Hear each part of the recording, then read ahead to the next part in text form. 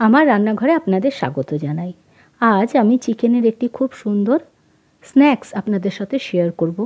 ভিডিওটি যদি আপনাদের ভালো লাগে, তাহলে চ্যানেলটা সাবস্ক্রাইব করে পাশে থাকা বেল বাটনটি একটু প্রেস করে দেবেন, যাতে আমার নতুন নতুন ভিডিওর আপডেট আপনার কাছে পৌঁছে যায়। ভিডিওটি লাইক, শেয়ার এবং একটি কমেন্ট করে জানাবেন আপনার কেমন লাগল। একটু পাশে থাকার অনুরোধ রইল। এটি করার জন্য আমি বোনলেস চিকেন নিয়েছি, এটা ব্রেড চিকেনে যে কোনো অংশ নিলেই হবে, শুধু চিকেনটা যেন বোনলেস হয়। এবার এগুলোকে আমি ছোট ছোট পাতলা পাতলা করে কেটে নেব ঠিক এভাবে। সবগুলো আমার কাটা হয়ে গেছে। এবার এর মধ্যে কিছু মশলা দিয়ে ম্যারিনেট করব। তার জন্য আমি আট দশটা রসুনের কোয়া গ্রেট করে নিয়েছি, হাফ ইঞ্চি আদা গ্রেট করে নিয়েছি, এক টেবিল চামচ বাটার দিয়েছি। বাটার দিলে খুব টেস্টটা ভালো হয়। বাটারের বদলে যে কোনো সাদা তেল দেওয়া যেতে পারে। দিয়ে দিচ্ছি এক টেবিল চামচ টক দই, জল ঝরানো। দিয়ে দিচ্ছি হাফ চামচ মতো গোলমরিচ গুঁড়ো আর স্বাদ মতো নুন। নুনটা যে যার মতো দেবেন, তবে যে কোনো ভাজা জিনিসে নুনটা একটু কম দিলেই ভালো লাগে খেতে। পরে নুন উপর দিয়ে অ্যাড করে দেওয়া যেতে পারে। এটাকে মেখে আধ ঘণ্টা থেকে পঁয়তাল্লিশ মিনিট বাইরে রেখে দেবো, ফ্রিজে রাখার দরকার নেই। ফিরে এলাম পঁয়তাল্লিশ মিনিট পর। এবার কতগুলি প্রিপারেশন করে নেব। একটি বাটিতে দুটি ডিম আমি ফাটিয়ে একটু নুন দিয়ে ফেটিয়ে রাখব। ওদিকে আমি একটা ফ্রাইং প্যানে বেশ খানিকটা তেল চাপিয়ে দিয়েছি গরম হওয়ার জন্য। এটা ডিপ ফ্রাই হবে। তাই তেলটা একটুখানি বেশি দিতে হবে। খানিকটা টোস্ট বিস্কুটের গুঁড়ো নিয়ে নিয়েছি। এর বদলে ব্রেড ক্রাম্প নেওয়া যেতে পারে। নিয়ে নিয়েছি কর্নফ্লাওয়ার। কর্নফ্লাওয়ার না থাকলে অ্যারারুট বা ময়দা দিলেও হবে।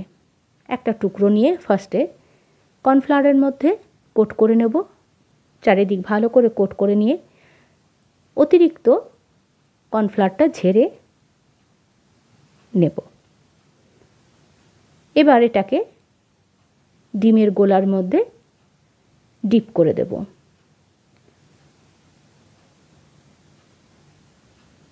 এভাবে একটু ভালো করে নিয়ে ডিপ করে দেব। এটা খেতে খুবই ভালো লাগে চায়ের সাথে বা এমনি বিকেলের টিফিনে। গরম গরম, খুব মচমচে, খুব ভালো লাগে খেতে। এবার বিস্কিটের গুঁড়োতে কোট করে নেব। এভাবে খুব ভালো করে চেপে চেপে বিস্কিটের গুঁড়োটা লাগিয়ে নেব। একটি থালায় রেখে দেব। এগুলো সব এইভাবে এক এক করে গড়ে নেব। আমি আরেকটা করে দেখাচ্ছি। এভাবে একটা পিস নিয়ে ফার্স্টে কর্নফ্লাওয়ারের মধ্যে কোট করে নেব। তারপরে ডিমের গোলায় ডুবিয়ে ভালো করে ডিপ করে নেব।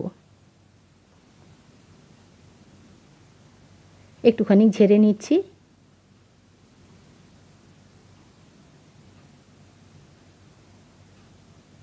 ডিমের গোলায় দিয়ে ডিপ করে নিলাম। তারপরে বিস্কিটের গুঁড়ো লাগিয়ে নেব।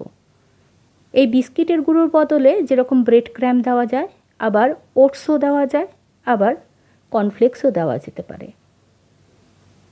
এভাবে খুব ভালো করে চেপে চেপে একটুখানি লাগিয়ে দেব।